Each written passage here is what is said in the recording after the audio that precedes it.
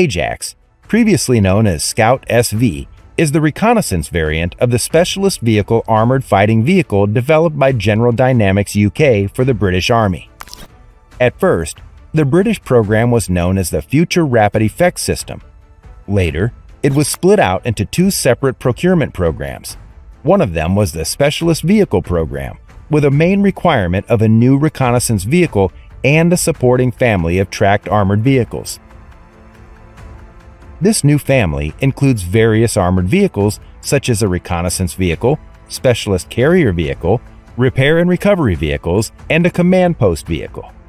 Different variants of the vehicle allow it to conduct various operations and with a high degree of consistency between the variants that simplify maintenance and logistics. In 2014, a production contract was awarded to General Dynamics UK to deliver a total of 589 specialist vehicle platforms to the British Army. This had a heavy price tag of 5.5 billion pounds, which was the biggest single contract for an armored vehicle for the British Army since the 80s. The Ajax Armored Reconnaissance Vehicle is a baseline variant of this family, which will replace the previous FV-107 Scimitar and is based on the ASCOD-2 infantry fighting vehicle. Its main armament is a 40mm cannon and it also carries specialized reconnaissance equipment. It will be used to gather intelligence, for surveillance, target acquisition, reconnaissance, and striking.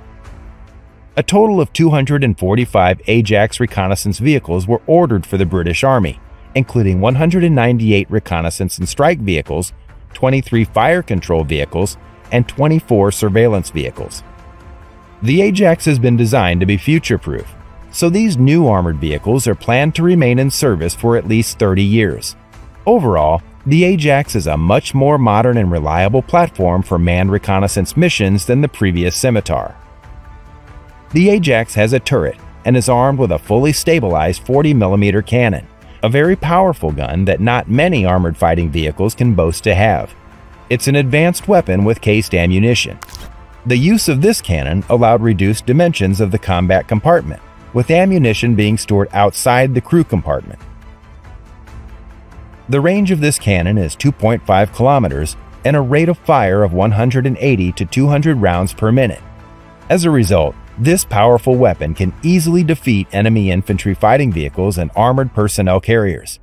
For secondary armament, this vehicle also has a coaxial 7.62mm machine gun. Further to its impressive weaponry, the Ajax reconnaissance vehicle is fitted with advanced primary and auxiliary sights. It is also fitted with acoustic detectors, laser warning systems, local situational awareness systems, as well as some other bespoke systems. It was also planned that the Ajax would be fitted with a ground radar system. This radar is included to detect helicopters, unmanned aerial vehicles, and decoy systems. It's claimed that the Ajax is the best in terms of protection and survivability in its class. To pull off such a significant claim, the vehicle has advanced modular armor and innovative protection against mine blasts. This provides a high level of protection against small arms fire, artillery shell splinters, and mine blasts. To also help with survivability, crew and passengers are seated on blast-resistant seats, which are not connected to the vehicle floor, but are instead suspended. Add-on armor kits will be fitted when needed, and newer armor modules can be fitted once these become available. A baseline vehicle weighs 34 tons, and with add-on armor, its weight is increased to a massive 42 tons. General Dynamics has also fitted the vehicle with electronic countermeasures, as well as nuclear, biological, and chemical protection and fire suppression systems. To operate the Ajax, a crew of three, a commander, gunner, and a driver, need to be present. This vehicle has the capability to carry additional passengers, however, it was not disclosed how many scouts it can carry there is a rear door for entry and exit for infantry. The vehicle is powered by a German MTU V8 199 TE21 turbocharged diesel engine, developing 816 horsepower. The engine is mounted at the front and is mated with a Renk 256B 6-speed fully automatic transmission. There are several variants of the Ajax, including the Ares Specialist Carrier Vehicle, This is not a typical infantry section carrier vehicle, but a combat engineer, battlefield reconnaissance, or air defense missile team carrier. The Ares will deliver under armor and support specialist troops. It has a crew of two, commander, gunner, and driver, and carries up to seven specialists. Its armament is slightly different, as it is limited to a remotely controlled 12.7mm heavy machine gun. A total of 59 Ares armored specialist carriers were ordered, as well as 34 formation reconnaissance overwatch vehicles. The Ares will replace the FV-103 Spartan, its current equivalent in the British Army.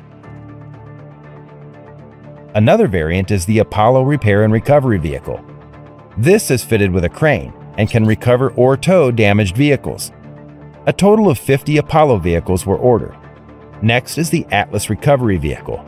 The party trick of this variation is that it's fitted with a front-mounted dozer blade which can recover and tow damaged vehicles to the nearest maintenance unit, and this will replace the FV-106 Samson.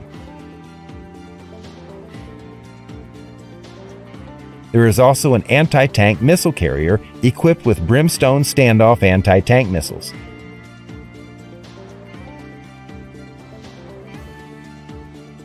All of these seem like exciting developments, but unfortunately there have been issues in development. Management issues and concerns about excessive noise and vibration have contributed to the program's delays. The UK's Public Accounts Committee deemed the Ministry of Defence's management of the Ajax program as flawed from the outset while the National Audit Office warned that the program confronts significant challenges. Lessons have been learned from these issues, and in March 2023, the Minister for Defense Procurement declared a new in service target of 2025. This has led to a new full operating capability target projected between late 2028 and 2029. Hopefully, there are no more issues, and we can see the family of Ajax vehicles show what they can do in the coming years. What do you think about the Ajax IFV? Let us know in the comments,